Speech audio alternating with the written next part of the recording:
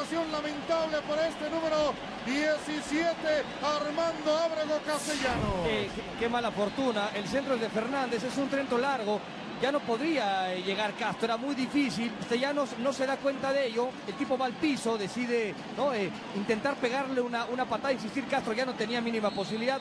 Con muy mala fortuna, Lozano alcanza inclusive a arañar la pelota. Le tira un manotazo con el, con el guante derecho. Es muy mala fortuna ¿no? Eh, de, de mil ocasiones.